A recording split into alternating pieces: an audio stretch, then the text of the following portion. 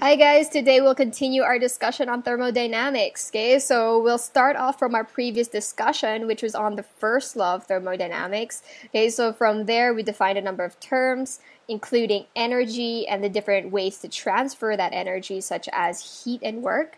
And we also saw that it is the transfer of energy that can lead to changes in the parameters of a system. Okay, so the first law, as a review, just sets rules on how energy transfers can occur, and we saw that energy is essentially conserved. Okay, there are, however, limitations to the first law. Okay, so while we know that if a system transfers energy to the surroundings, we know that no energy is lost in the process. Okay, so that is energy lost by the system is going to be gained by the surroundings. Okay, however, the first law does not really give us any sense of direction. Okay, so while the first law gives us a set of possible processes, it does not tell us which is the most probable or which actually does happen in a given set of conditions. Okay, because the first law tells us that the reverse process can happen as well. Okay, but it does not really tell us which direction actually does happen. Okay, so in other words, the first law does not tell us anything about which process is spontaneous. Okay? Intuitively, however, we do have a sense of what can and what can't happen naturally. Okay, so let's take this video as an example. So as we're playing this video, there doesn't seem to be anything off about it, right? Because we know that ice, when placed on a table at room temperature, tends to melt. Okay, so the process is spontaneous.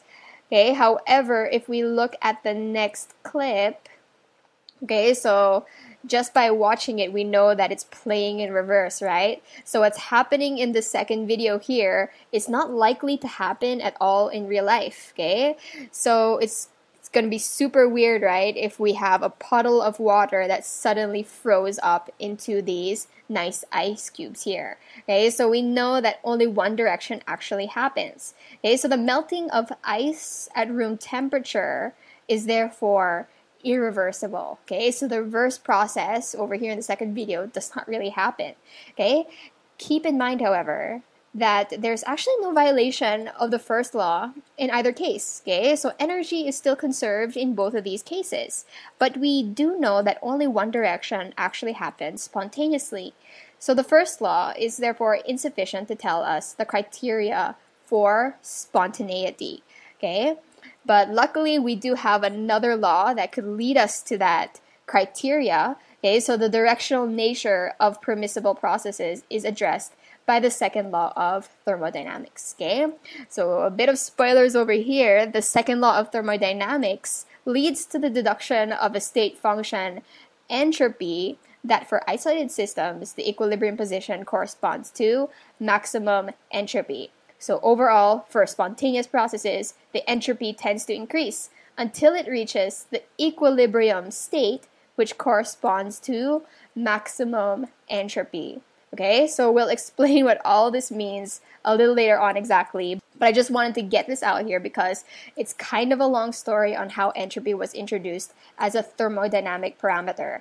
Okay, so the deduction of the state function actually came from a very practical question namely the development of the cyclic heat engine. Okay, so the heat engine was developed during the Industrial Revolution. So, what it is basically is that it converts heat to continuous mechanical work. Okay, so typically people burn coal in order to boil water and use the steam produced in order to drive pistons, which then provided the useful mechanical work. Okay, so we'll look at how this works exactly later on. So overall, people just wanted to maximize the efficiency of heat engines, as in they wanted to convert as much heat into continuous mechanical work. All right, so let's look at the basic schematic of a heat engine. Okay, so overall, we have our cyclic heat engine. Okay, so we have heat flow from the surroundings, which then increases the internal energy of the engine.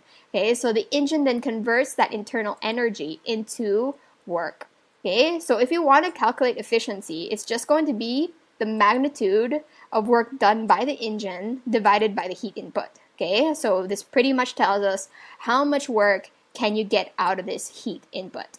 Okay, So note that the first law of thermodynamics doesn't really stop us from having a heat engine that will convert all of the heat input into work.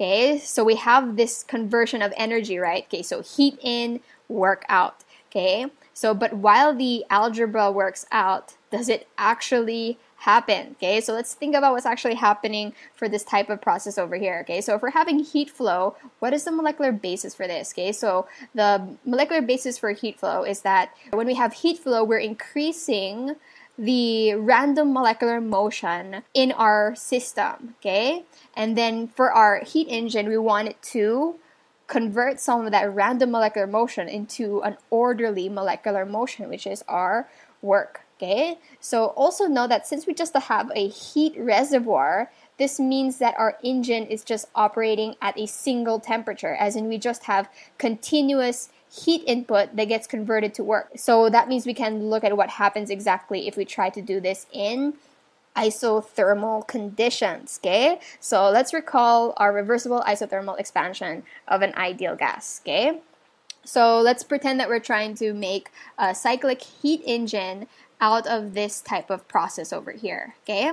So if we are expanding our gas from V1 to VF, okay, that means our system is going to be doing work, okay? So let's recall additional things about an isothermal expansion of an ideal gas. Okay, so we know that for an isothermal process for an ideal gas, delta U is going to be equal to zero, okay? But we know that delta U is also going to be equal to Q plus W. So that means for an isothermal process, okay, so we have Q is equal to negative W, okay?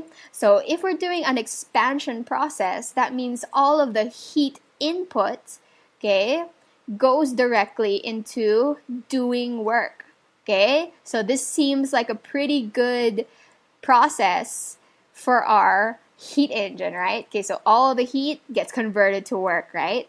Okay, so why are we considering reversible processes, by the way? Okay, we're doing a reversible process because we know that for a reversible expansion, okay, this corresponds to the maximum work done by the gas, okay? So we're maximizing the amount of work that the gas could do, okay?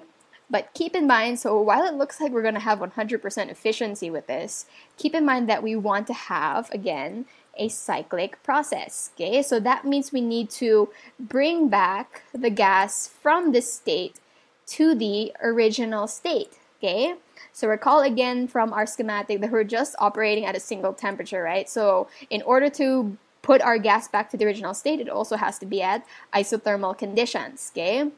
So we could do this reversibly as well. Okay, so if we do a compression reversibly, this is going to be the minimum work done on the gas. Okay, so there's always going to be some work that has to be done in order to bring back the gas to the original state. Okay, so let's calculate this actually. So for reversible work, let's look at the expansion process. This is going to be equal to negative nRT ln Vf over Vi. Okay, so this is for the expansion. Okay, so if we have some heat input, okay, so this is going to be the work that your gas is going to do. Okay, so if we're doing the compression, however, okay, this is going to be equal to the reversible compression is equal to negative nRT ln. Okay, so final volume is Vi Vf. Okay, so know what's gonna happen here, guys, is that if you sum these two things together, okay, so the net work done in this process, if we have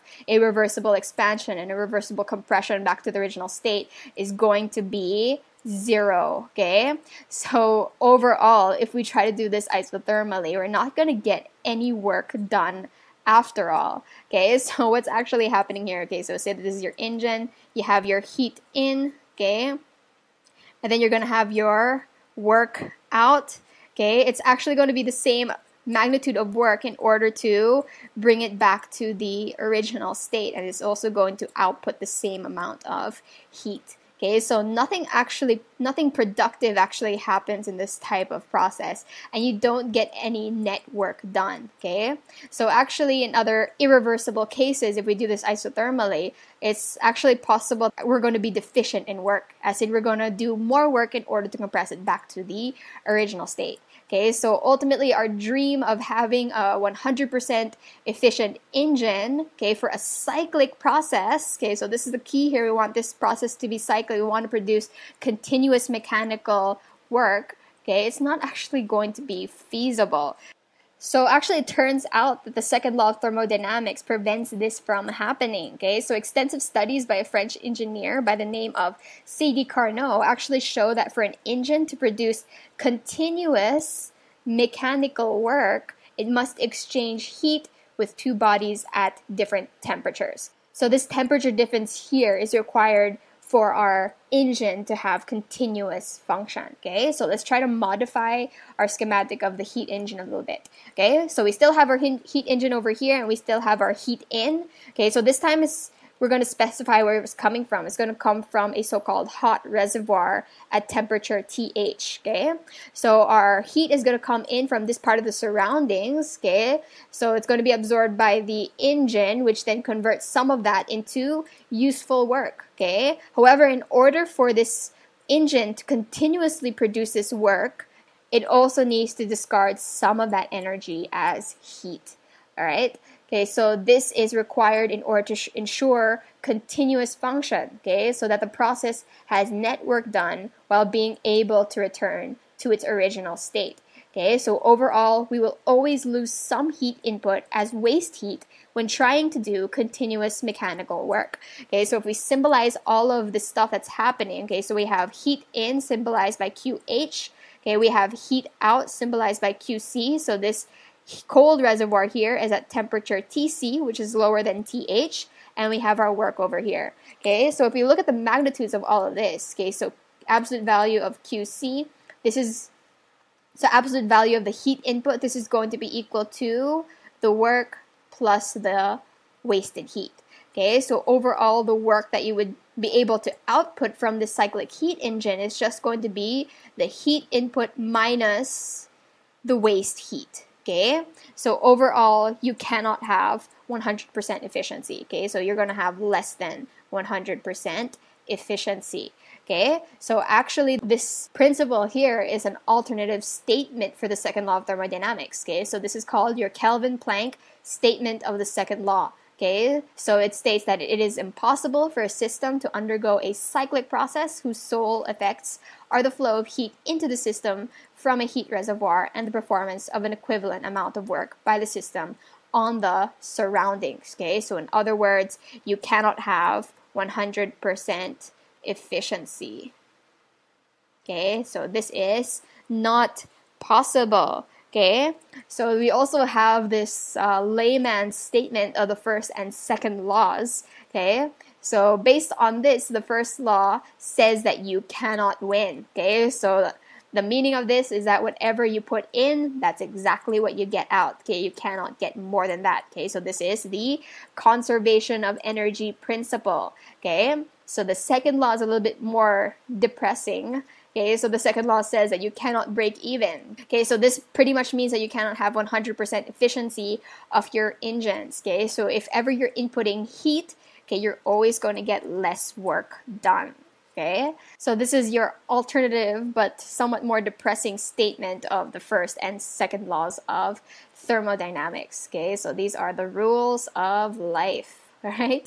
Okay, so let's look at the basic principles of a heat engine in order to understand why it's necessary to have your hot reservoir and your cold reservoir and whatnot. Okay, so this is a very, very simplified schematic of a heat engine. Okay, so you have two chambers over here, and then you have a piston here as well. Okay, so the movement of this piston is what's going to cause your continuous mechanical work. We'll see that the continuous mechanical work can be achieved by moving the piston forward and backwards over and over again. Okay, so first this can be done by an input of heat okay so that heat input that we saw earlier that is usually done in order to increase the temperature of our working substance. Okay, so the working substance is usually steam.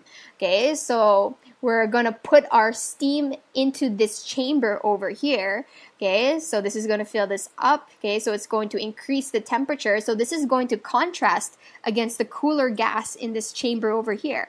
Okay, so this steam over here is at a higher temperature, so it's also at a higher pressure. Okay, so therefore you have a net force that is moving the piston from this part to this part over here. Okay, so you have a net movement of your piston. Okay, so while the piston is moving in this direction, is going to push the cooler gas outwards. Okay, so this is going to be your exhaust steam.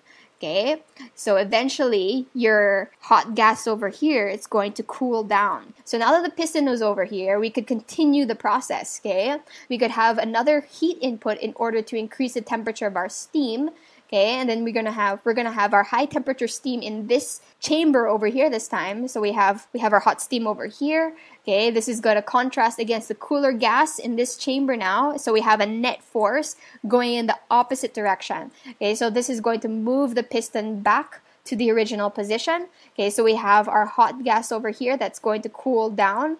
Okay and overall we're in the same position as the initial state so this process is just repeated over and over again in order to have the movement of this piston over here.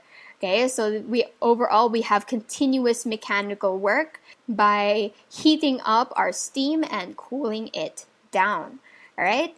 Okay, so let's look at a way in which we can do this process the most efficient way possible. Okay, and that is described by the Carnot cycle. Okay, so the Carnot cycle is described to be the most efficient engine possible because all of the steps involved in the cycle are reversible. Okay, so meaning that we're doing the maximum work done by the gas and we're doing the minimum work done on the gas. Okay, so overall, we still have the same basic setup of our cyclic heat engine. Okay, so let's just represent the heat in as QH and the heat out as QC right? And the work that we have here is just W. Okay, so let's look at the different steps of the Carnot cycle. Okay, so let's look at a PV diagram in order to describe this, okay?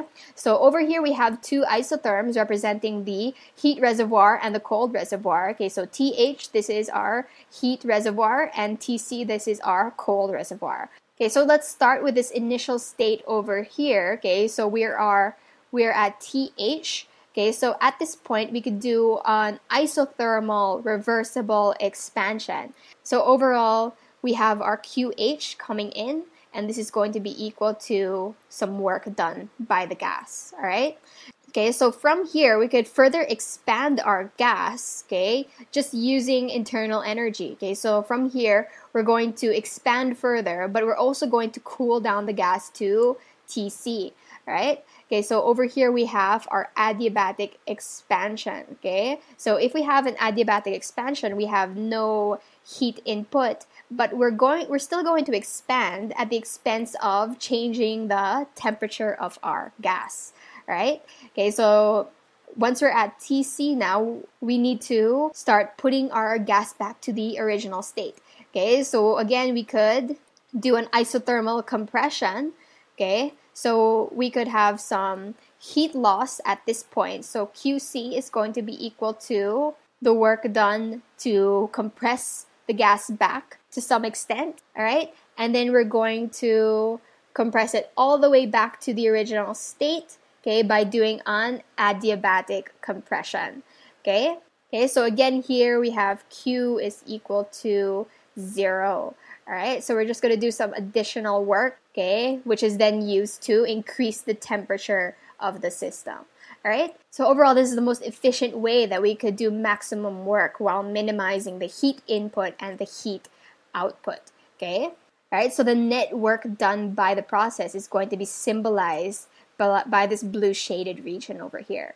Okay, so this is your work done by the gas minus the work done on the gas. All right. Okay, so let's look at each of these steps individually to get a closer look of what happens. Okay, so also keep in mind that we have all these different states over here, which we'll be using to describe this entire cycle. Okay, so let's look at the first step of the Carnot cycle. So this is our isothermal reversible expansion. Okay, so overall for this step, heat is absorbed from the high temperature reservoir to do work. Okay, so this is like when our steam is being heated up by our hot reservoir and at the same time it's expanding okay and it's pushing the piston therefore it's doing work all right? So let's look at what happens here exactly okay? So since we're dealing with isothermal conditions our delta u is going to be equal to zero okay? So this means that any heat input okay is going to be equal to the work done by the gas right? Okay, so since this is reversible, we could describe our work as work reversible. So this is going to be equal to negative NR TH ln V2 over V1. Okay, so this means that our heat is just going to be equal in magnitude but opposite sign. So this is going to be positive NR TH ln V2 over V1. Okay, so we have change in internal energy, work, and heat involved in this step here. Okay, so now let's look at our next step. Okay, so our next step is a reversible adiabatic expansion. Okay, so this time our gas is just pushing against the piston with no heat input.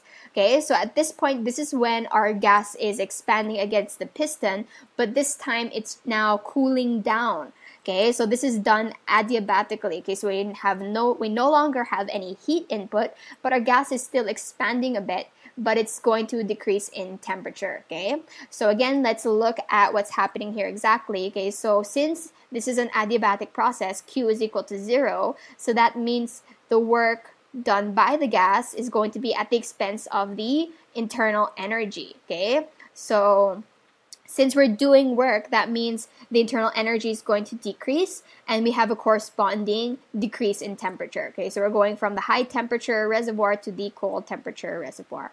Okay, so this is going to be equal to NCV, okay, TC minus TH. Okay, so we have heat involved and we have our change in internal energy and our work. All right, okay, so now let's look at when we're going to return our gas to the original state. Okay, so this is when we start doing this. Okay, so our third step is our reversible isothermal compression. So this is when heat leaves the system into the cold reservoir as the system compresses. All right. Okay, so we're trying to bring back the gas, but at the same time, we're going to be discarding some of this heat as our waste heat.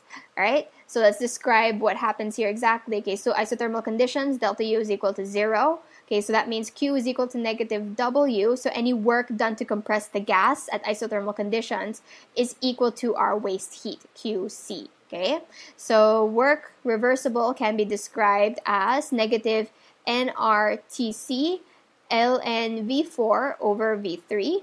Okay, so that means our QC, this is going to be equal to positive NR Tc ln V4 over V3. Alright? Okay, so change in internal energy, work, and heat. Okay, so now let's look at our last step. Okay, so our last step is what brings our system back to its original temperature, which is our TH. Okay, so this is for reversible adiabatic compression. Okay, so all of the work done on the system goes to increase the temperature of the system back to TH, right? So let's look at the parameters here. So Q is equal to, cis, to 0 since we're dealing with an adiabatic compression. Okay, so that means that delta U is equal to W. Okay, so this is equal to NCV, okay, so TH minus TC. All right, okay, so now let's summarize each of the steps over here. Okay, so A to B, okay, so the work involved here is negative NR TH ln V2 over V1. Okay, and then the heat involved here, this is your QH, which is equal to positive NRTH ln V2 over V1. Okay, so isothermal conditions, delta U is equal to zero. Okay, so B to C, this is an adiabatic process, so Q is equal to zero. Okay, our work here is just NCV Tc minus Th, which is also equivalent to the change in inter internal energy. So that is NCV Tc minus Th. Okay, so now let's look at our isothermal compression. Okay, so internal energy is zero. Okay, our work involved here is negative nRTC ln V4 over V3. Okay, and our Q here, this is our QC, our waste heat. So this is positive nRTC ln V4 over V3. Okay, so last step, okay, adiabatic compression, Q is equal to zero. Our work is equal to NCV TH minus TC, and our change in internal energy is equal to the same thing. Okay, so NCV TH minus TC right? So now let's look at the net process, okay? So overall process, okay? We're going to sum each of these steps, okay? Like we usually do for our cyclic processes, right? So if we're looking at the overall change in internal energy, this is expected to be, again, just equal to zero, okay? So if we add these two things together, we get our zero over here. Okay, so this makes sense again since delta U is a state function. Okay, and we're dealing with a cyclic process, right? So now let's sum up our work. Okay, so our work over here, okay, so this part here also cancels out.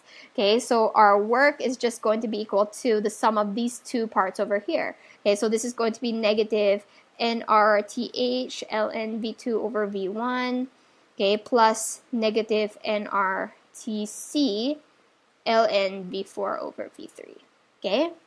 So our heat over here, okay, so this is expected to be equal in magnitude to our net W, but opposite in sign. So this is going to be nRTH ln V2 over V1 plus nRTC ln V4 over V3.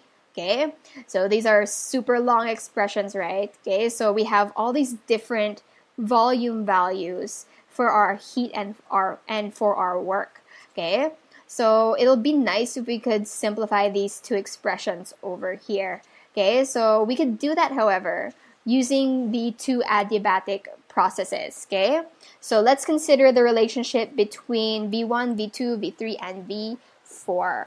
All right, so recall the basic relationship between the final and the initial temperatures and the final and initial volumes for a reversible adiabatic process. Okay, so we know that from this, TF over TI, this is going to be equal to VF over VI raised to negative gamma minus 1, right? Okay, so let's look at step 2 and step 4. Okay, so for step 2, what's the relationship between the final initial temperatures and the final initial volumes? Okay, so we know that this is going to be Tc over Th Okay, this is going to be equal to, okay, so final volume that is V3 over V2, okay, raised to negative gamma minus 1.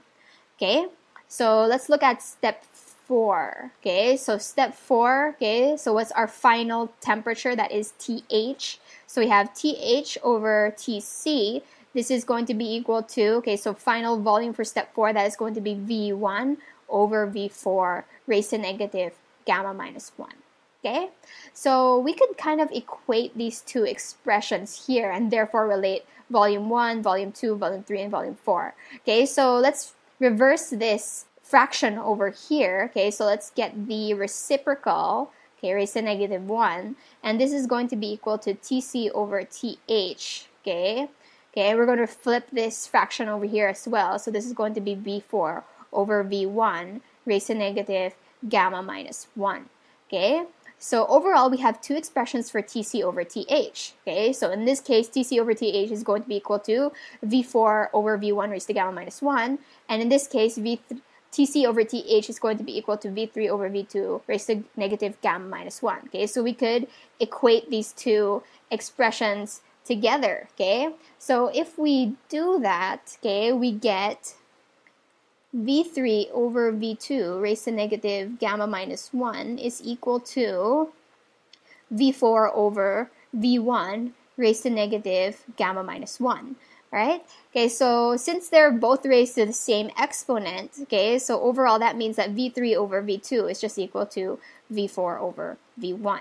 Okay, so let's just rearrange this to get the ratios of interest, okay? So V4 over V3 this is going to be equal to V1 over V2 or this is going to be equal to V2 over V1 raised to negative 1.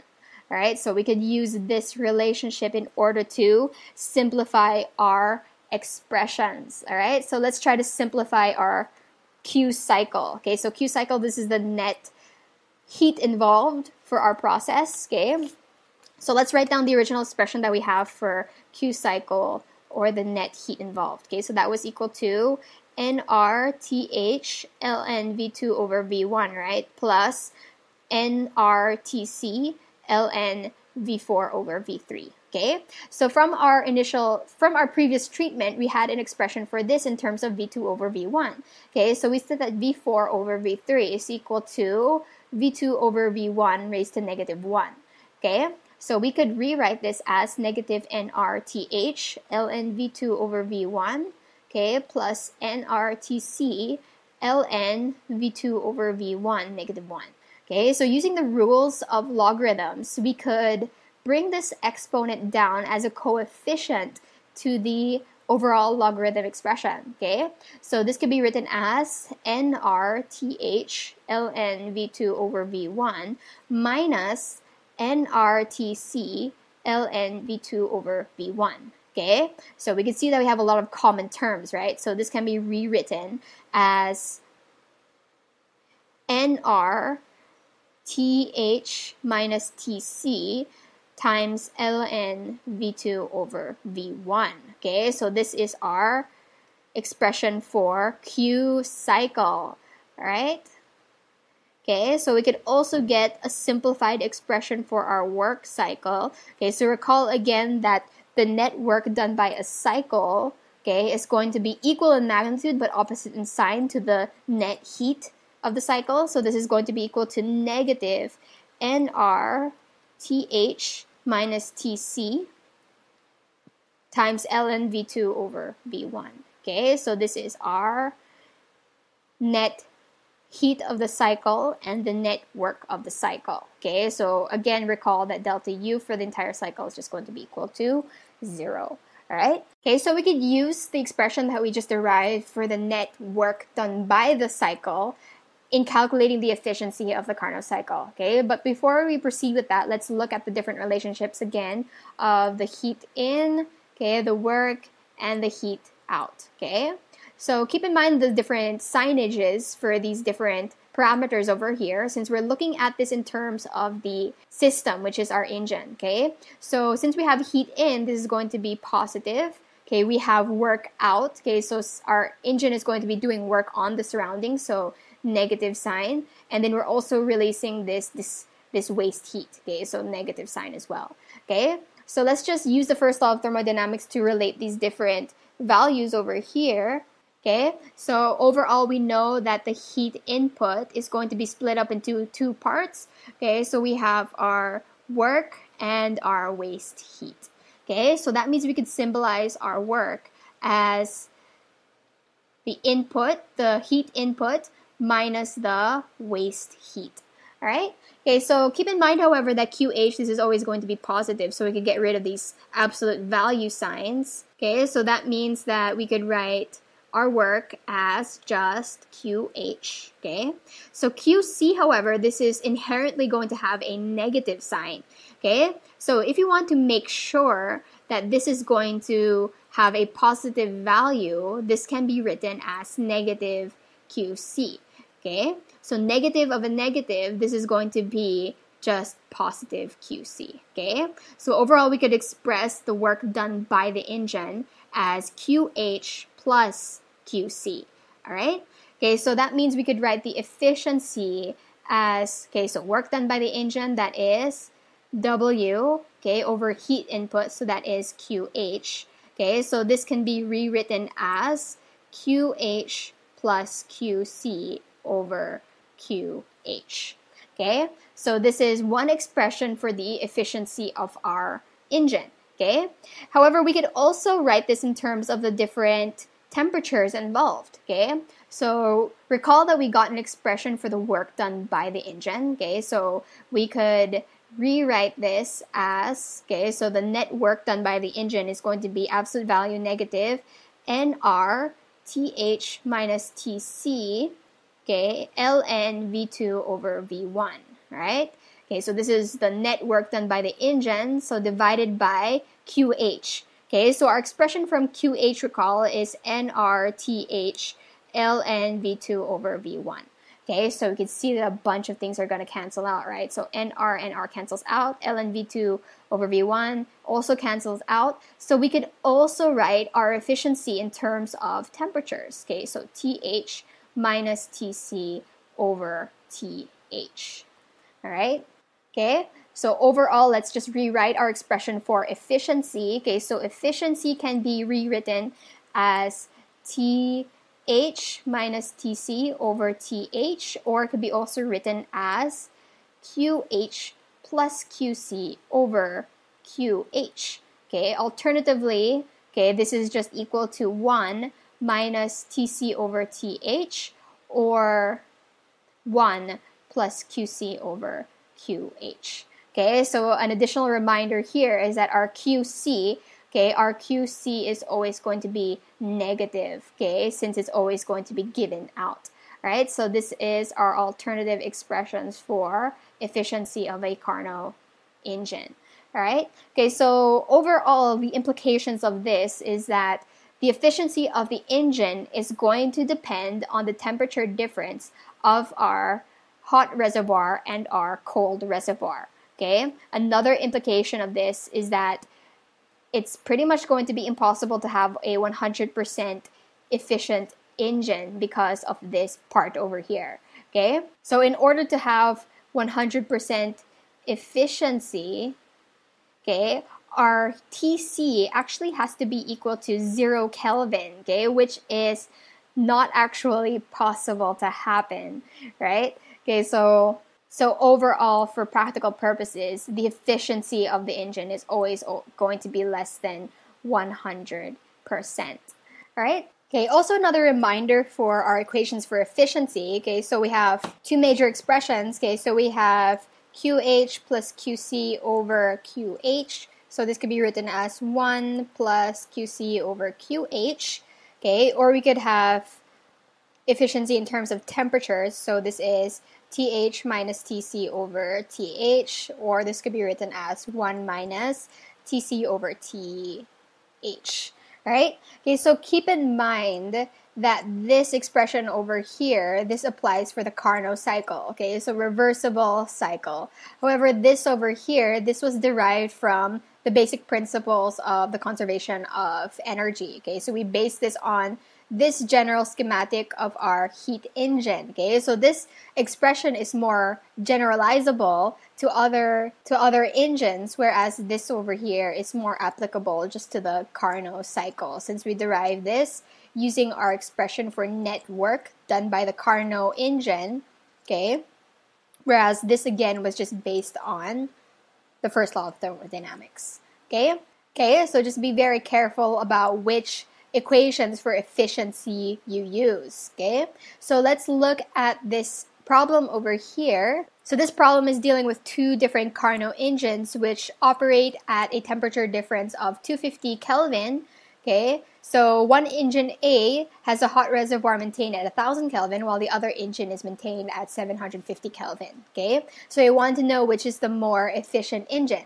Okay, so since we're dealing with Carnot engines anyway, we could still use the equation in terms of temperatures. Okay, so efficiency is equal to TH minus TC over TH. Okay, so for both engines, the difference between the temperatures of the hot and the cold reservoirs are the same. Okay, so efficiency of A can be written as 250 Kelvin divided by 1000 Kelvin.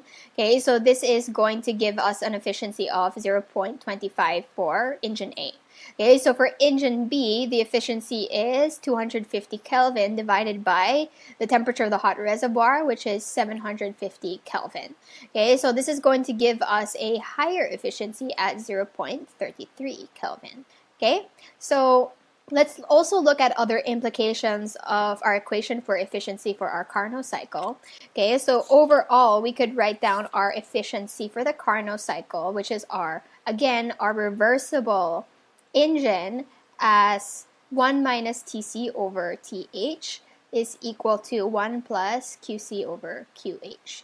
Okay, so again, these expressions are for our reversible cycle. Okay?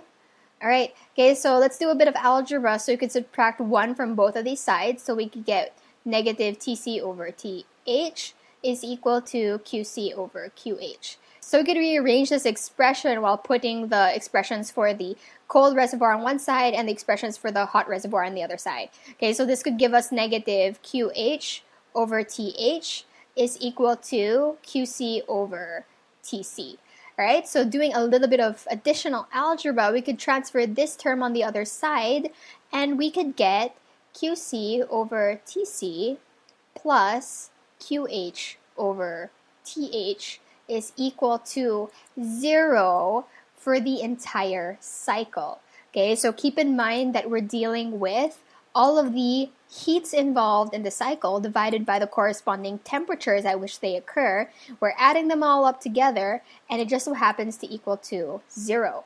Okay, so what's the implication of this? Okay, so for cyclic processes, okay, when we're calculating the overall value of a certain parameter for a cyclic process, what typically becomes zero? Okay, so what typically becomes zero is if we have a state function. Okay, so recall again earlier that when we were calculating the change in internal energy for the entire Carnot cycle, this ended up being zero. Okay, so the same thing happens for this ratio over here. Reversible heat over the corresponding temperature. Okay, so it also ends up being zero. Okay, so this suggests that this parameter over here, this also happens to be a state function. Okay, so actually this state function here, this is your entropy. Okay, so overall, from our investigations of the reversible Carnot cycle, okay, we get this parameter, which is our entropy term. So overall, entropy is a thermodynamic state function defined as the reversible heat flow in a process divided by temperature. Okay, so this expression over here, this gives us the infinitesimally small change in entropy as the infinitely small reversible heat flow divided by temperature. So if you want to get the overall change in, in entropy, we could just integrate from the initial to the final state. Okay, so we get entropy of the initial state to the entropy of the final state. Okay, initial temperature to the final temperature. Okay, so since entropy is a state function, we get delta S. Okay, and we could just keep this inside the integral sign so we're not sure of the dependence of our reversible heat on temperature. So this is just going to be the integral evaluated from the initial temperature to the final temperature of dq reversible over temperature. Okay, so this is our change in entropy for a process of interest. Okay, so note, however, that it's kind of weird since we have to deal with reversible heat. Okay, so it looks like we're just calculating entropies for reversible processes. So the next question is, what about for irreversible processes? Okay, so why are we interested in irreversible processes, by the way? So if we know that a process is irreversible, that means it is spontaneous in that direction. Okay, so the reverse process does not happen, right? So only we, we only have one direction in which this occurs. Okay, in our derivation for our expression for entropy, however, we use the Carnot cycle. Okay, so based on definition, what is the Carnot cycle? This is all made up of reversible steps. Okay, so this is a reversible cycle. Okay, so what's the significance of a process being reversible versus irreversible. Okay, so a reversible process can still be spontaneous, but the difference here now is that it is in equilibrium. Recall again our discussion on reversible work. We said that our system, if it does reversible work, is constantly in equilibrium with its surroundings. Okay, so if we have a reversible process, we know that it is happening at equilibrium. Okay, so earlier we derived expressions for entropy using the expression of efficiency. Okay, so that expression for efficiency was for a reversible process, reversible cycle, namely the Carnot cycle. We could get a relationship for irreversible processes by considering an engine that is irreversible. Okay, so that means at least one of its steps is an irreversible process. Okay, so since we know that reversible engines are the most efficient engines, that means if we just so happen to have a single irreversible step in one of our cycles, that means its efficiency is automatically going to be less than that of the efficiency of a reversible cycle. Okay, so symbolically, we mean that if we have an engine with at least one irreversible step, okay, its efficiency is automatically going to be less than that of an engine that has all steps that are reversible. Okay, so overall, it's not possible to have an engine that's going to have a larger efficiency than the Carnot cycle because we pretty much said that the Carnot cycle is the most efficient engine. Okay, so this is like our maximum possible efficiency. So we could write down the efficiency of our irreversible process as 1 plus QC irreversible divided by QH irreversible. Okay, so this is going to be less than 1 plus QC reversible divided by QH reversible. Okay, so these ones could cancel out. Okay, so note that we could write this quantity over here in terms of the temperatures like what we did earlier. Okay, so QC reversible over QH reversible can be written as negative TC over TH. Okay, so this this is one of the relationships that we derived earlier for the efficiency of a Carnot cycle. Okay, so let's just replace this term over here. Okay, so we have QC irreversible divided by QH irreversible is going to be less than negative TC over TH. Okay, so let's do some rearrangement. We have QC irreversible over TC is less than negative QH irreversible over TH. Okay, so rearrange this. Okay, bring this on the other side. We have QC irreversible over TC plus QH irreversible over TH is less than zero. Okay, so contrast this with what we were saying about our Carnot cycle. Okay, so let's just recall what we got for the Carnot cycle. Okay, so for the Carnot cycle, our reversible cycle, we got QC reversible over TC plus QH reversible over TH as equal to zero. This time, however, if we're dealing with an irreversible cycle, okay, the sum of the heats involved for the irreversible process divided by the corresponding temperature is going to be less than zero. Okay? Okay, so let's consider an irreversible cycle. Okay, so let's generalize this. Okay, so we know that for all of the steps of an irreversible cycle, dq irreversible over temperature. Okay, so if we integrate this for the entire cycle, so if we want to do this, okay, so we could write the integral sign with a little circle over here to indicate that we're integrating from the initial state all the way to the initial state again. Okay, so we're just going through the entire cycle. Okay, so for an irreversible cycle, okay, this is going to be less than zero. Okay, so overall, our goal here is to try to relate the irreversible heat of a process over its temperature with what we know entropy to be. Okay, so this is ds is equal to dq reversible over t, right? Okay, so our strategy here is that since we're dealing with an irreversible cycle, we know that a cycle becomes irreversible if it just has one step that is irreversible. Okay, so let's say that our cycle is made up of two steps. Okay, so the first step, one to two, this could be our irreversible process. Okay, so irreversible. Okay, but when we're going back to the initial state, okay, this process could be reversible, okay? But overall, if we're looking at the cycle going from one all the way to all the way back to one, okay, the process is irreversible since we have an irreversible step, okay?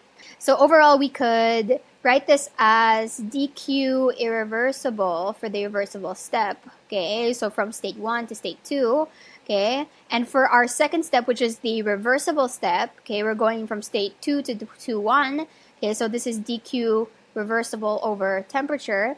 Okay, so overall, summing these two things together will be less than zero.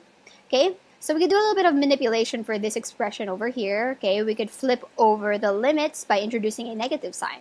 Okay, so this is going to be negative 1 to 2 dq reversible over temperature. Okay, but note, however, that dq reversible, this is equal to ds, right? Okay, so we could write this as 1 to 2 ds, okay? And then we'll write down this expression down here. So 1 to 2 dq irreversible divided by temperature. Okay, so this is going to be less than 0. Okay, so note that this refers to the same step now. Okay, so the entropy change from step 1 to 2, okay, so we could rearrange this, okay, to give us the following, okay? So 1 to 2 dq irreversible over t, this is going to be less than 1 to 2 ds. Okay, so implications of this the entropy change of going from point 1 to 2 okay, is going to be greater than the irreversible heat involved in the process. Okay, so this is in general the relationship between entropy and the heat involved for an irreversible process. Okay, so in general, we can write ds is greater than dq irreversible divided by t. Okay, so what's the implication of this? Okay, so let's go to a fresh slide over here. Okay, so in general, for permissible pro processes, ds is going to be greater than or equal to the heat involved in the process divided by t. Okay, so actually this is made up of two parts. Okay, so if ds is equal to dq over t, this is when you have a reversible spontaneous process.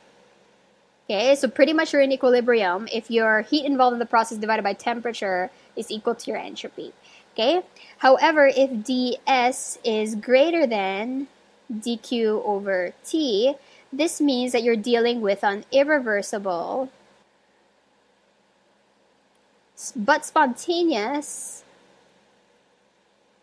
process. Okay, so note what is not allowed. Okay, what's not allowed is for ds to be less than dq over t.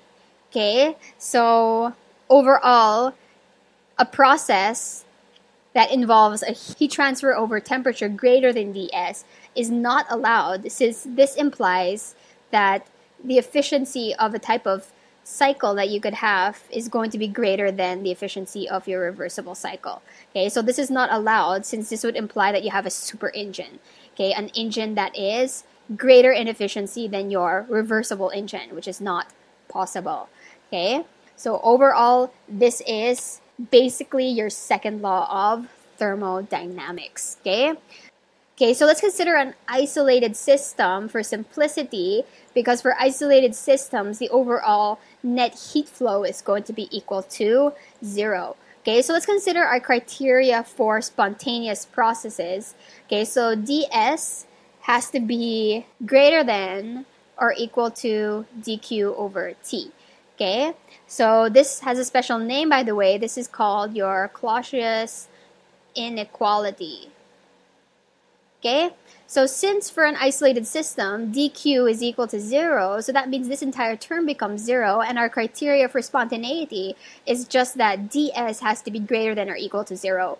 Okay, so the implication of this is that entropy increases with spontaneous changes in an isolated system.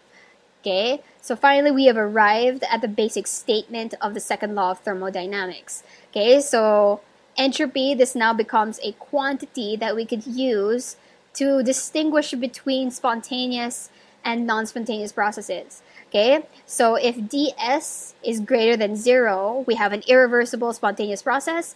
ds is equal to zero, it's reversible and spontaneous. Okay, so this means we have equilibrium. Okay, And if ds is less than zero, this process is not allowed. In other words, it is non spontaneous. Okay, so keep in mind that this is for an isolated system. Okay, we were able to say these statements for an isolated system because the overall heat flow involved for the system is equal to zero. Okay, however, what if we want to expand this for non isolated systems? Okay, so that means the entropy of the surrounding must also be considered. Okay, but we could also treat the entire universe actually as an isolated system. Okay, so let's kind of draw this out. Okay, so say that this is the entire universe. Okay, our system is over here. This is our surroundings. Okay, so if ever there's any heat flow between the system and the surroundings, it's just going to be contained within the entire universe. Okay, so you could treat the universe as an isolated system. So we, that means we could apply the criteria of spontaneity for isolated systems towards the entire universe by writing ds of the universe, okay, this has to be greater than or equal to zero. Okay, so to expand this expression over here, we know that the universe is made up of two parts, right? Okay, so ds universe, this is made up of the entropy of the system plus the entropy of the surroundings.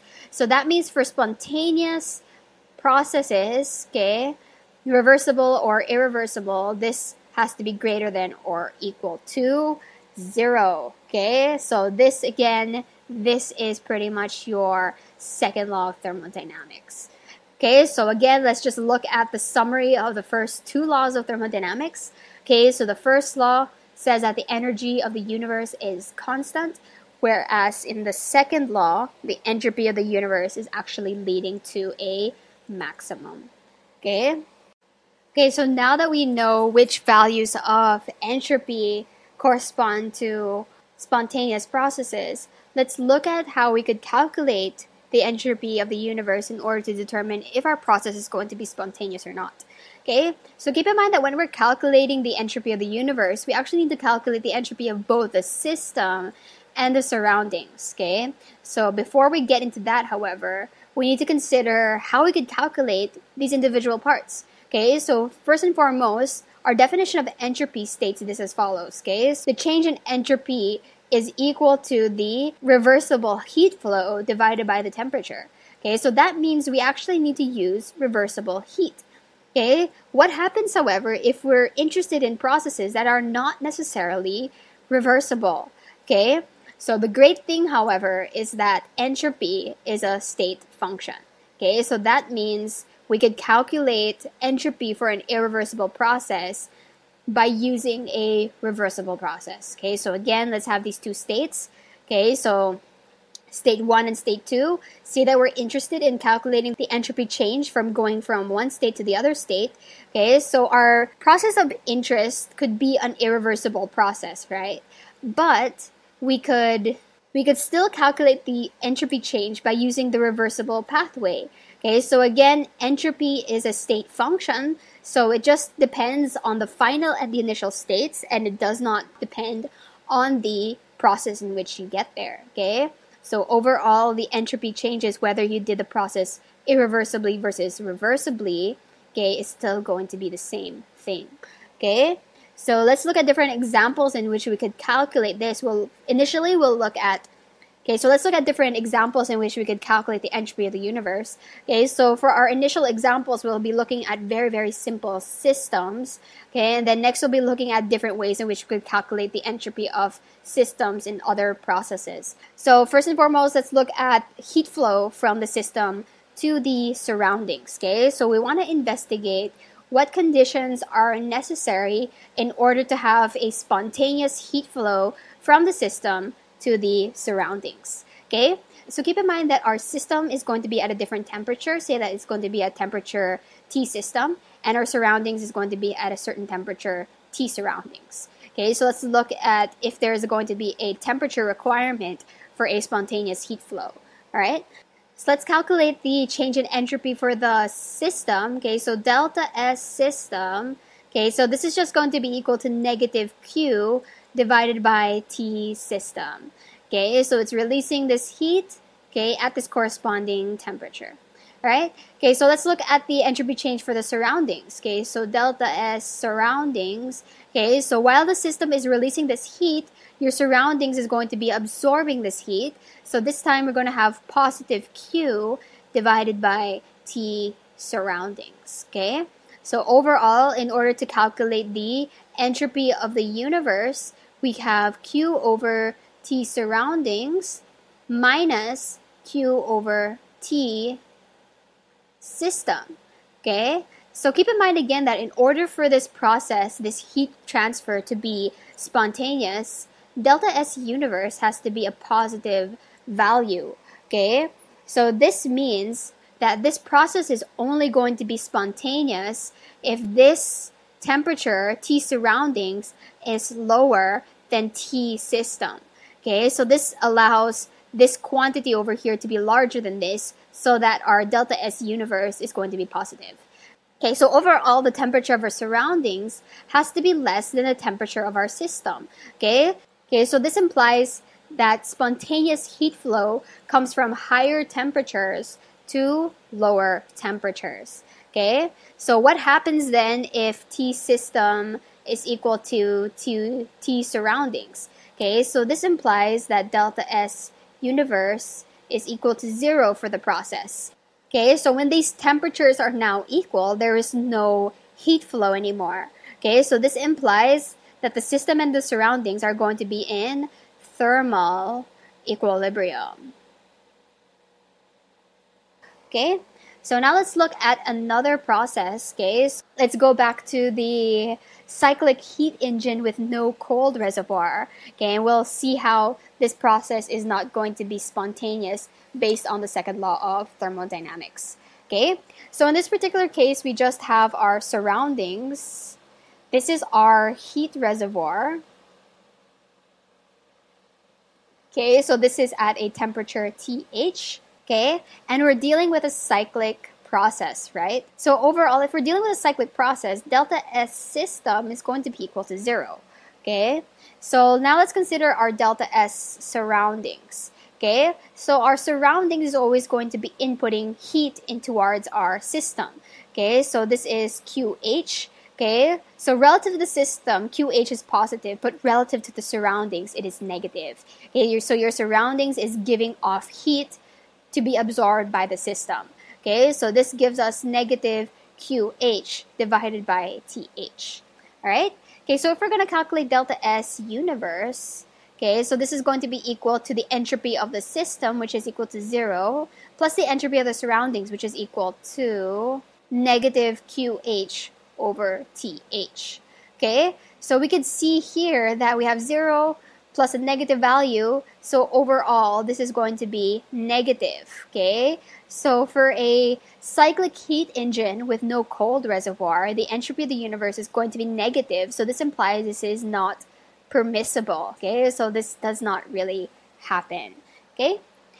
So let's try to calculate the entropy change of a system for other processes. Okay, so keep in mind that we'll be limiting ourselves to the consideration of the system only in our discussion from now on. Okay, so additional processes for closed systems that we want to consider include isochoric processes, isobaric, isothermal, adiabatic, reversible phase changes, and mixing processes. Okay, so you might think that this is a lot of stuff to go over, but keep in mind that you're probably familiar with how to calculate many of these already from our previous discussion. Okay, but there's going to be a few subtle things to keep in mind, which we could see in our first example. Okay, so we could try to calculate the change in entropy for an isochoric process. Okay, so for an isochoric process, okay, we could look at what the reversible heat is going to be. So this is just going to be equal to dQV. Okay, so dQV, this is equal to NCV dt. Okay, so these definitions were established from our previous discussion. Okay, so if we're going to calculate ds, ds is going to be equal to dq reversible over temperature. So that means it's equal to ncv dt over t.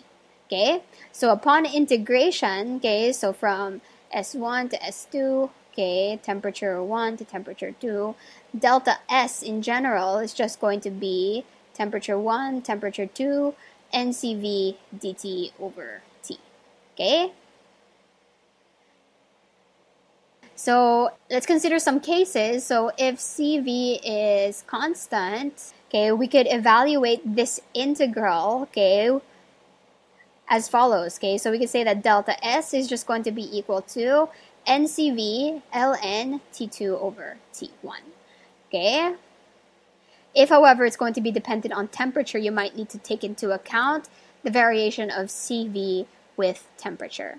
So in that case, delta S is going to be equal to N. Okay, so integrate this from temperature 1 to temperature 2. We have A plus BT plus CT squared all over temperature times DT. Okay, okay, so this is if CV varies with temperature. Okay, so actually the same thing can apply for isobaric processes. Okay, so we'll limit ourselves to cases where there are no phase changes. Okay, so for isobaric processes, the reversible heat is just going to be dQp. Okay, so dQp is defined as NCP dt. Okay, so in this case, our entropy is going to be equal to dq reversible over T, right? So this is just going to be equal to NCP dt over T. Okay, so upon integrating this, okay, so if Cp is constant in the temperature range of interest, okay, delta S is just going to be equal to NCP ln T2 over T1, okay? Right? If, however, if Cp varies with temperature, okay, so our integration has to take into account the variation of Cp with temperature. So this is going to be N, temperature 1, temperature 2, Ka plus Bt plus Ct squared onwards if ever, divided by T times dt. Alright, so let's try this problem over here. Okay, so in this particular problem, we have two samples of silver at different temperatures. One piece of silver is at 150 degrees Celsius, and another piece of silver is at 0 degrees Celsius. Okay, so they form an isolated system at constant pressure. Okay, so we're going to calculate the final temperature of both silver samples, and we're also going to calculate the delta S for the hot silver sample and the delta S for the cold silver sample, and the total delta S for the system. Okay, so we want to determine if the process is spontaneous or not. Okay, so overall, let's just draw out a schematic of what this problem is asking. Okay, so let's write down our piece of silver A. Okay, so we have this piece of silver A, which is at 150 degrees Celsius, or in terms of Kelvin, this is 423.15 Kelvin. Okay, so this is our hot piece of silver. Okay, so it's brought into contact with our colder piece of silver. Okay, so this is B. Okay, so it's at 0 degrees Celsius, or in terms of Kelvin, 273.15 Kelvin. Okay, so what do we know about the nature of heat flow? Okay, so heat flow occurs between two bodies and it's going to be spontaneous if one body is at a higher temperature than the other body. Okay, so heat flows from a body that has a higher temperature to a body that has a lower temperature. Okay, so our heat flow is going to go in this direction. Okay, so when is it going to stop? Okay, so heat flow is going to stop when the final temperature of silver A is going to be equal to the final temperature of silver B. Okay? So knowing so overall, guys, knowing what's happening in our problem is very, very useful in trying to solve this. Okay, so I really suggest that you start drawing out and figure out what's happening in the process before you start trying to solve anything. All right.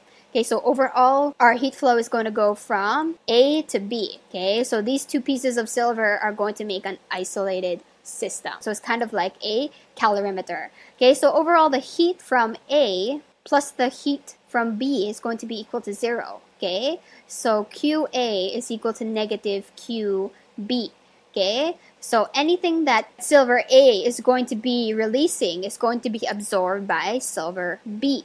Alright, so this is a very important relationship to establish. Okay, so we could define what QA is going to be. So this is going to be equal to the number of moles of A times the heat capacity times the change in temperature. So this is going to be TF minus the initial temperature of A. Okay, so keep in mind that TF for both silver A and silver B are going to be the same.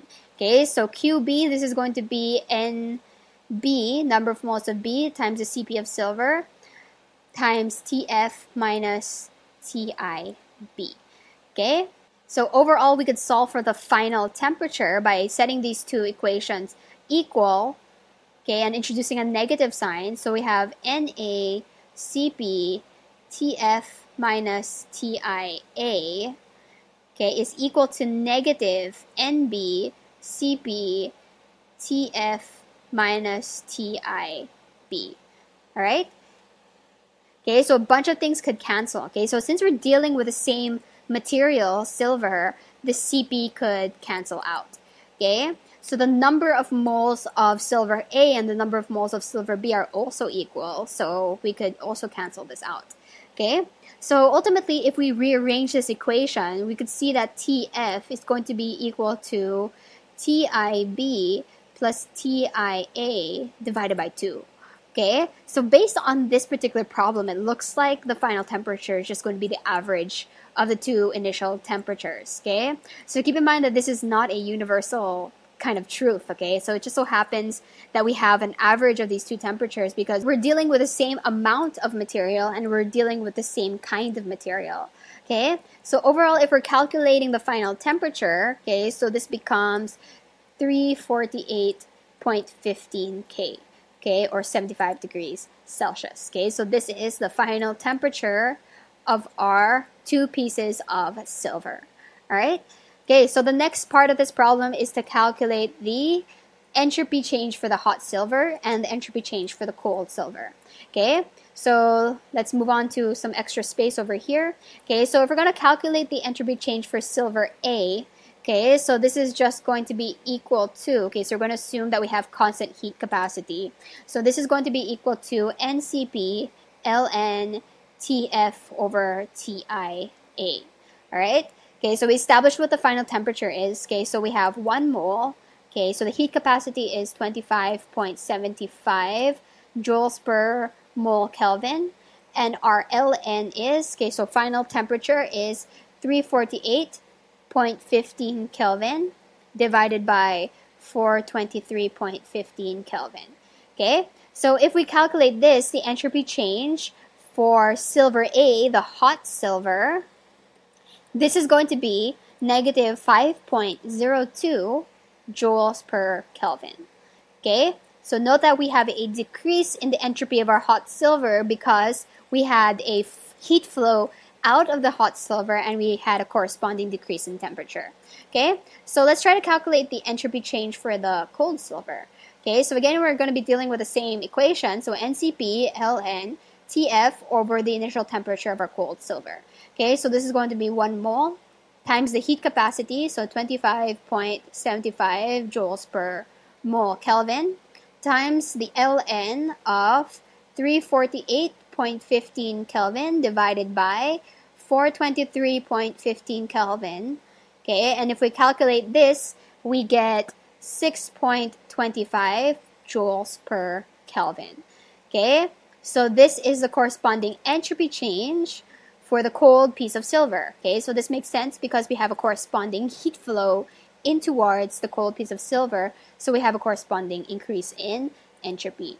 Okay, so now let's look at the total entropy for the system. So delta S for the whole system is just going to be the sum of these two. Okay, so delta SA plus delta SB. So if we calculate this, this is ultimately going to be a positive value. So positive 1.23 joules per Kelvin. Okay, so we can see here that the delta S is positive for this isolated system.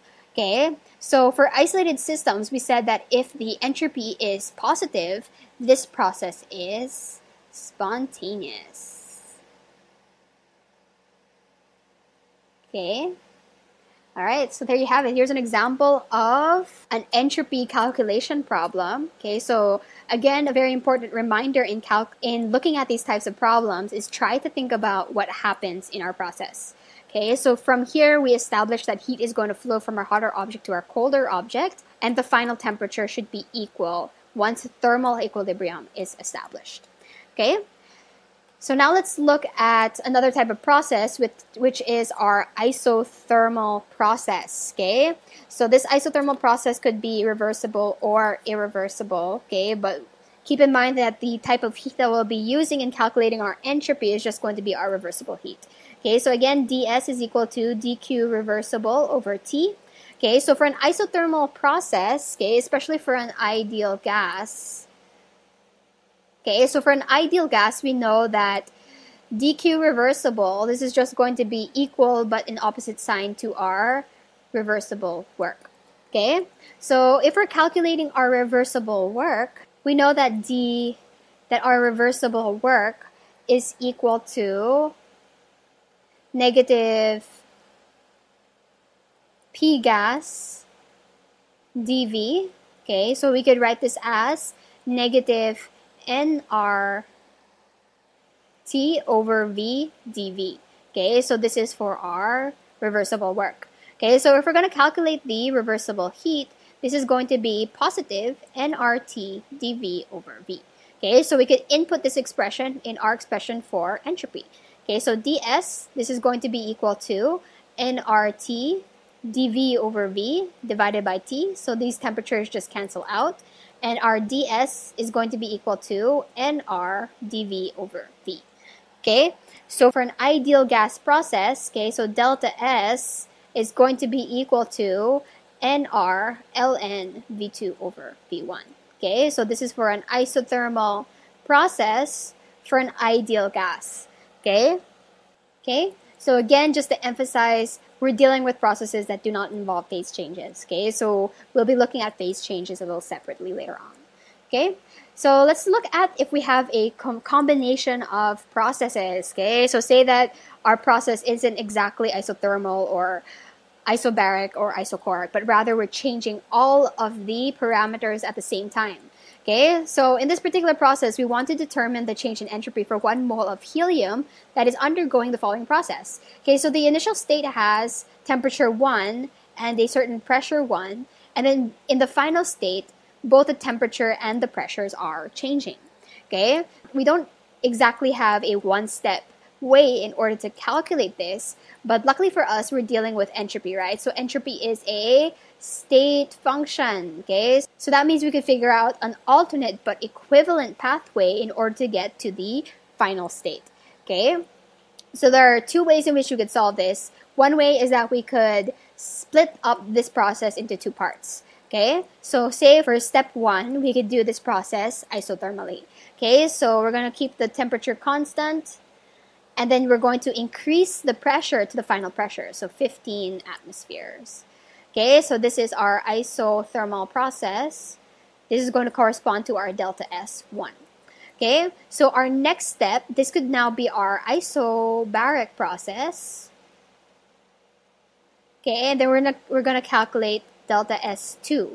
Okay, so overall, our delta S is going to be the sum of delta S1 plus delta S2. Okay, okay, so let's write down the expression for the isothermal and the isobaric process. Okay, so overall delta S, this is going to be equal to NR ln V2 over V1. Okay, so this is for the isothermal process. Plus for the isobaric process, this is going to be NCP ln T2 over T1. Okay, so CP for this particular system, so we're dealing with helium, right? So this is a monatomic gas. Okay, so CP this is going to be equal to 5 halves R. Okay, so in our particular problem, okay, our change in condition is in terms of pressures. Okay, so for our first step, we're going to have 298 Kelvin as our as our temperature, and we're going to change the pressure from 150 atm to 15 atm. Okay, so for our particular expression over here, our changing condition is in terms of volume. Okay, so we could easily calculate the volume or we could just make an alternate expression for this over here. Okay, so we're dealing with an ideal gas, right, at constant temperature. So we could rewrite the ratio as nRT over P2 divided by nRT over P1. Okay, so this cancels out and we could rewrite our expression as P1 over P2. Okay, so overall delta S, this is going to be equal to NR ln P1 over P2 plus NCP ln T2 over T1. Okay, so overall we have 1 mole times R times ln, okay, so pressure 1 is 1.50 atm divided by 15 atm plus 1 mole, okay, so our CP is 5 halves R times ln and the temperature change, which is 100 Kelvin divided by 298 Kelvin. Okay, so overall, the entropy change is going to be equal to negative 41.84 joules per Kelvin. Okay, so the main takeaway for this problem is that if we're calculating for entropy, we could split up the process of interest into different parts so that the calculation could be more convenient for us. Okay, so this is possible since entropy is a state function. Okay, Okay, so now let's look at adiabatic processes. Okay, so if we have an adiabatic process, we could conduct this process either reversibly or irreversibly. Okay, so if we have a reversible adiabatic process, right off the bat, we already know something about the reversible heat involved. Okay, so in this case, dq rev is already going to be equal to zero. Okay, so recall again that our entropy is defined as dq reversible over t so right off the bat, we already know that since dq rev is equal to 0, so that means that ds is going to be equal to 0. Okay, so the change in entropy for a reversible adiabatic process is already going to be equal to 0. So we could prove this using an ideal gas that is undergoing a reversible adiabatic expansion. Okay, so let's just recall how this is going to happen. So let's draw a PV diagram here, and we have two isotherms. Okay, so if our gas is undergoing an expansion, okay? So all the parameters, the pressure, the temperature, and the volume are going to be changing, okay? So if we start here with volume 1 and then temperature 1, we know that our gas is going to expand to volume 2 and at temperature 2, okay? So overall, we have our gas, which is at temperature 1 and volume 1, okay? And then we're changing the conditions so that it goes to temperature 2 and volume 2. Okay, so we could look at this as sort of a combined process. We could calculate the corresponding change in entropy by, say, conducting this in isothermal conditions first. Okay, so gas at T1 expanding towards V2 and then at isochoric conditions, okay, so our gas at V2, okay, changing in temperature to temperature 2, okay, so we could do a very similar procedure as what we did earlier, okay, so when we calculate delta S, okay, we're going to be calculating the entropy of the first step, which is our isothermal step, so we could write this as NR ln V2 over V1, and we could write down the entropy change for the isochoric step, which is plus NCV ln T2 over T1. Okay? So based on the fact that we have an adiabatic reversible expansion, we know something about the relationship between these two values over here. Okay, so since we have dq rev as equal to 0, so this means that du is equal to dw reversible. Okay, so let's just review some of the things that we know about these two parameters. So we know that du is equal to ncv dt, okay, and dw, this is going to be equal to negative nRT over v times dv, okay.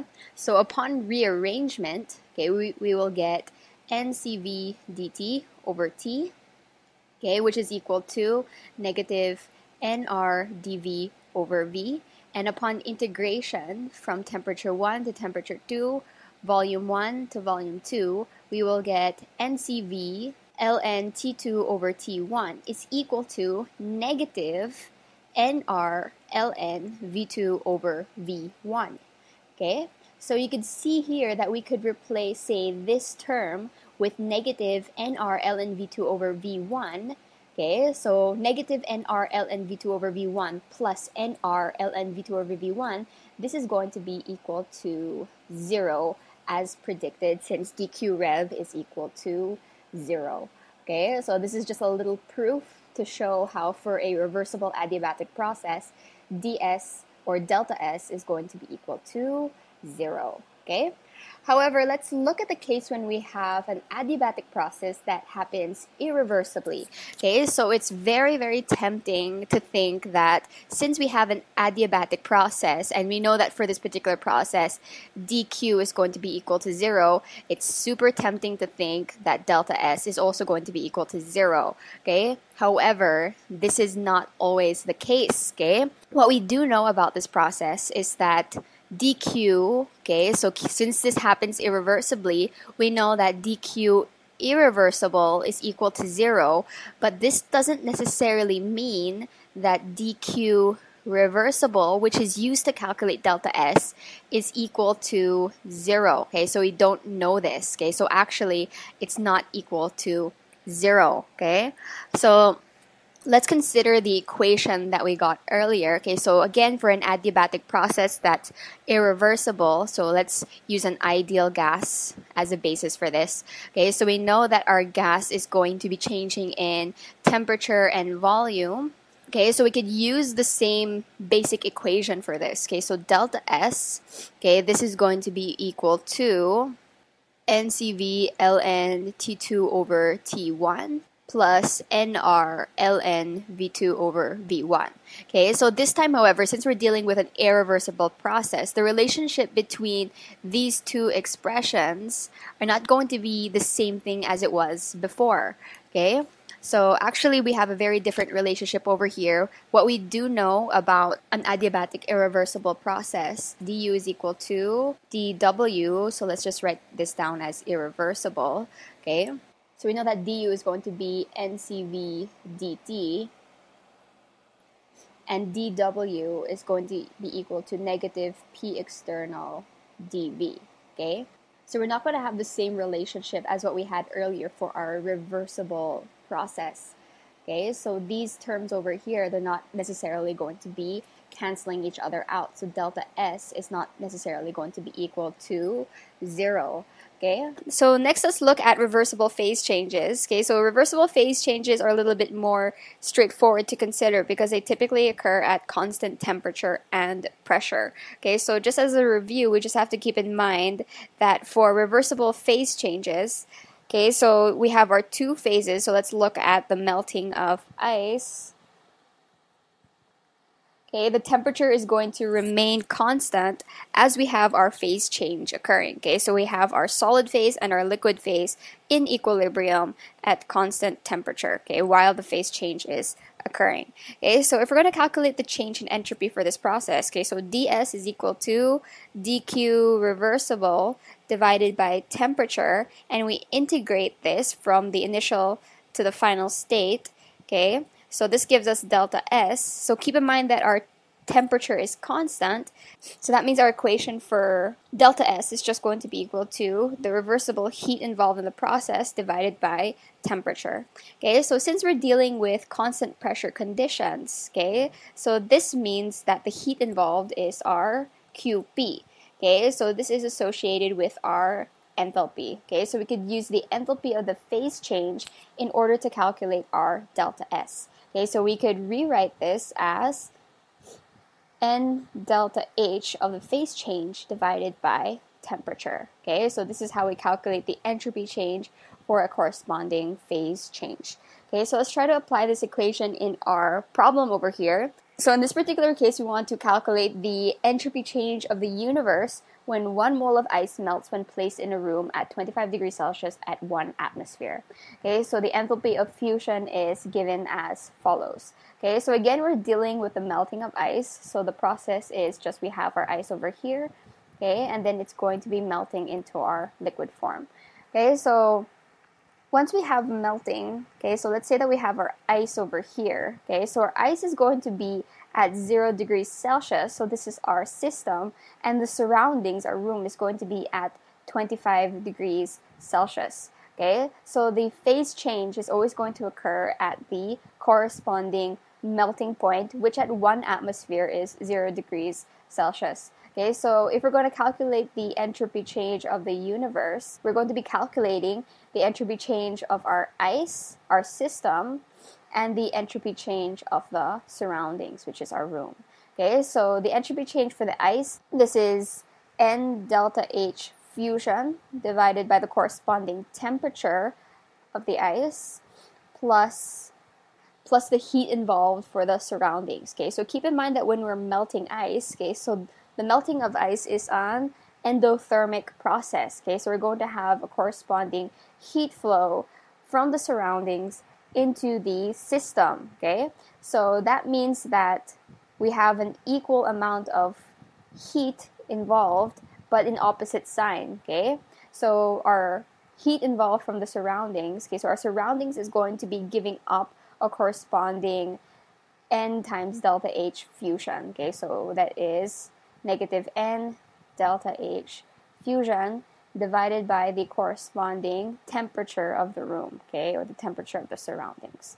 Okay, so this is our delta S universe. Okay, so if we plug in on our values over here, so delta S universe, okay, so this is going to be, so we have one mole of ice, okay, so the enthalpy of fusion, let's put this in terms of kilojoules, so 6.03 times 10, 10 to the 3 joules per mole divided by the temperature of our ice, K in Kelvin, so that is 273.15 K plus negative 1 mole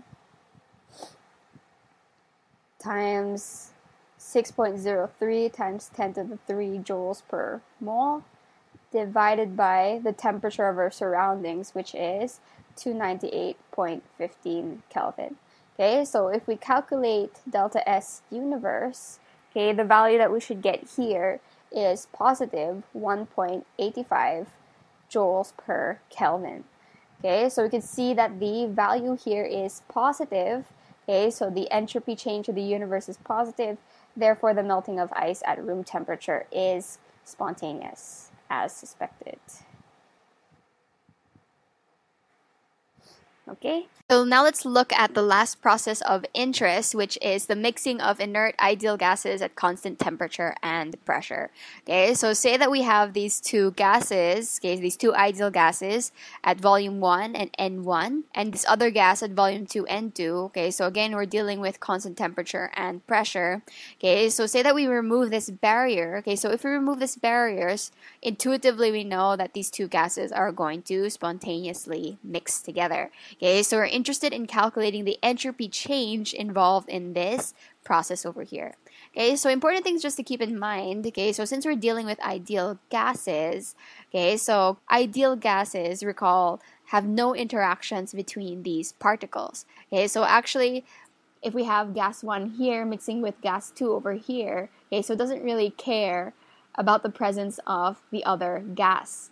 Okay, so also keep in mind that we have constant temperature, okay? So we're dealing with an isothermal process, okay? So recall again from our discussion on ideal gas processes that if we have an isothermal process, okay, so the change in internal energy and the change in enthalpy is going to be equal to zero, okay?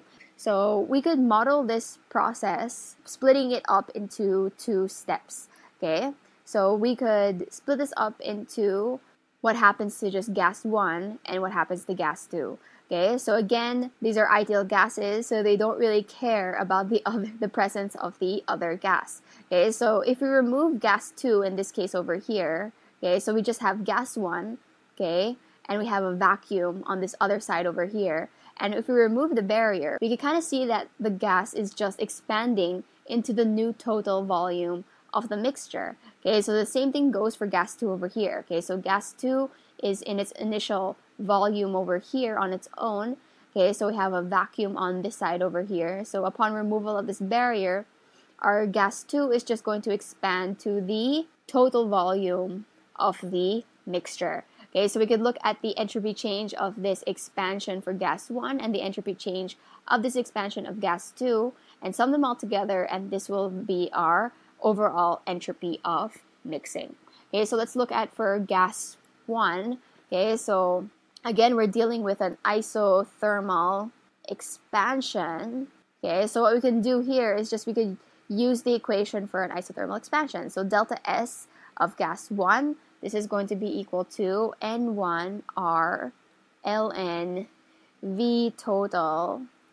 Okay, so this is the final volume over V1. So actually we could also write this ratio in another fashion. Okay, so recall the definition of mole fraction. Okay, so mole fraction can be written as the volume of 1 over the total volume of the system. Okay, so this means that the reciprocal of our mole fraction, this is going to be equal to V total over V1.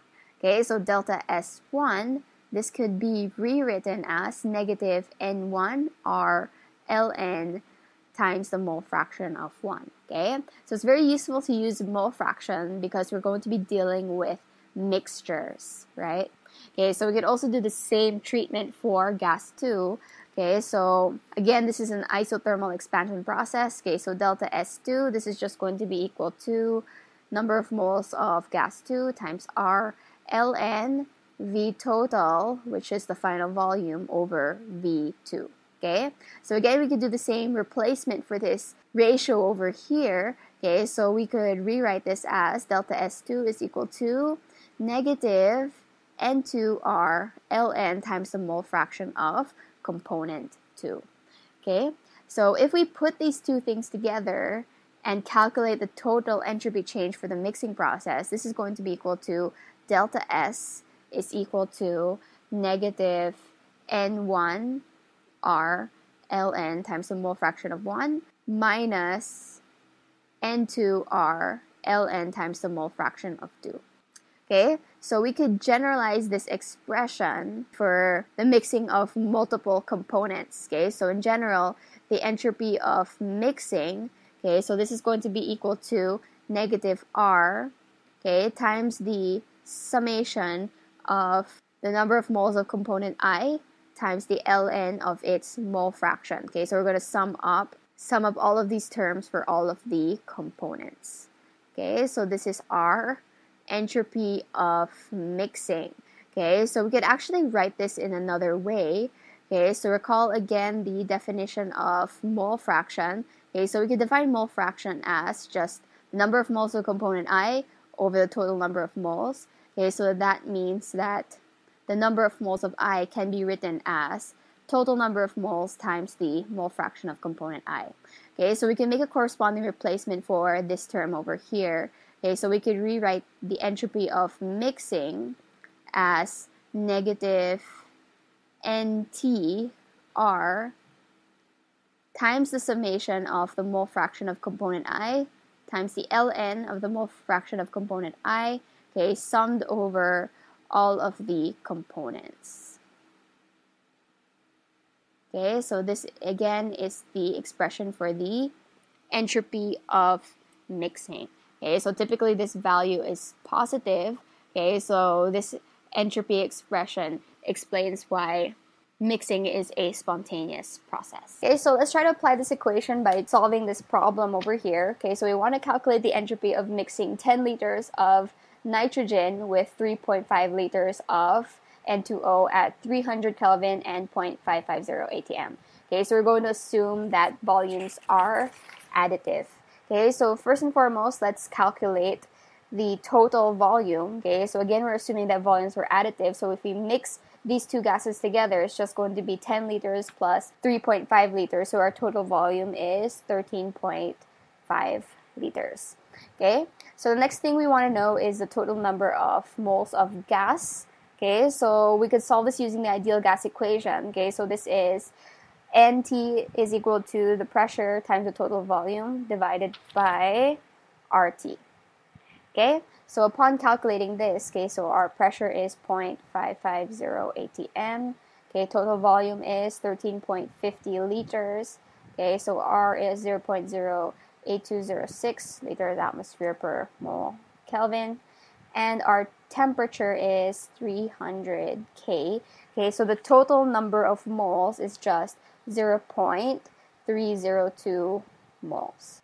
Okay, so it's also of interest for us to calculate the corresponding mole fractions. Okay, so the mole fraction of 1, this is going to be the mole fraction of our nitrogen gas. So this is going to be equal to just the volume of our nitrogen gas divided by the total volume. And for the mole fraction of N2O, this is going to be equal to 3.5 liters divided by 13.50 liters. Okay, so we have all of the parameters that we need in order to calculate our entropy of mixing. So our equation is, recall, is equal to negative NTR, okay, with the summation of mole fraction of component 1 times the ln of mole fraction of component 1 plus the mole fraction of component 2 times the ln of mole fraction of component 2. Okay, so if we plug in all these values, okay, so the total number of moles is 0.302 moles. We have negative 0.302 moles times R. Okay, so in this case, our R is going to be 8.314 joules per mole Kelvin. And we input our corresponding mole fractions. Okay, so this is just 10 over 13.5 times ln 10 over 13.5 plus 3.5 divided by 13.5 ln 3.5 divided by 13.5. So ultimately, the entropy of mixing these two gases is positive 1.44 joules per Kelvin. Okay, so the mixing of these two gases is again a spontaneous process. All right, so just to sum up the different types of processes that we've discussed, let's try to solve this problem over here. Okay, so hopefully you recognize this problem as one of the earlier problems that we've discussed from our previous lecture. Okay, so back in that lecture, we calculated the heat, the work, the change in internal energy, and the change in enthalpy for each step of the process and for the entire cycle. Okay, so this time we want to calculate the entropy change for the system for each step of the process and for the total cycle. Okay, so previously we already calculated the different states of the system. Okay, so we'll be referring to those results in this problem over here.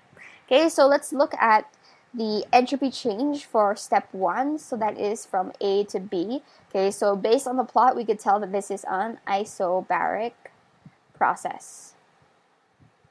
Okay, so in that case, and we're also dealing with an ideal gas, okay, so that means the delta S for step A to B is just going to be delta S is equal to NCP ln T2 over T1. Okay, so if we're going to input all of this, okay, so recall again that for a diatomic gas, Cp is going to be equal to 7 halves R. Okay, so we're dealing with 1 mole, so 1 mole times 7 halves R times Ln, temperature 2 is 800 K, divided by temperature 1, which is 200 K. So that means delta S for A to B, this is just 40.34 joules per Kelvin. Okay, so this is for our first step. So next let's look at our second step, which is our isochoric step. Okay, so we'll be calculating the step B to C. Okay, so for an ideal gas, delta S for an isochoric process is just going to be equal to NCV ln T2 over T1. Okay, so again, we're dealing with a diatomic gas. Okay, so we know that the CV is going to e be equal to 5 halves R. Okay, so this is going to be equal to, okay, so 1 mole times 5 halves R times ln, okay, so final temperature, this is going to be 200 Kelvin, divided by initial temperature, so that is 800 Kelvin. Okay, so delta S for the second step is going to be equal to negative 28.81 joules per Kelvin. Okay, so lastly, let's look at our third step. So our third step is our isothermal process. Okay, so this is step C to A. Okay, so again, for an isothermal process for an ideal gas, delta S is going to be equal to NR ln V2 over V1. Okay, so this is just going to be equal to 1 mole times R times Ln, okay, so final volume, this is 4.103 liters, divided by the initial volume, so that is 16.412 liters. And if we calculate this, this is going to be equal to negative 11.53 joules per Kelvin. Okay, so this is the entropy change for the third step. Okay, so lastly, we want to calculate the entropy change for the total cycle. So let's just summarize each of the values that we got here. Okay, so for step A to B, we got 40.34 joules per Kelvin. Okay, so for step 2, we got negative 28.81 joules per Kelvin. And for the third step, we got negative 11.53 joules per Kelvin. Okay, so we can see that if we add all of them up, okay, so the delta S for the entire cycle is going to be equal to zero as expected. So again, this just emphasizes how entropy is a state function. Okay. Okay, so that concludes our discussion for this lecture. Okay, so up next we'll be discussing the third law of thermodynamics. We'll also be looking at standard molar entropies, and we'll start calculating the entropy changes involved for chemical reactions. Okay, and later on We'll also try to establish alternative criteria for equilibrium. Okay?